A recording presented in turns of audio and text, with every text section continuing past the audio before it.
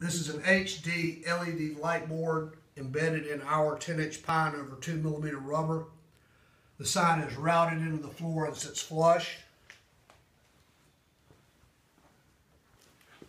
This is the sign of the off position. This is the sign turned on.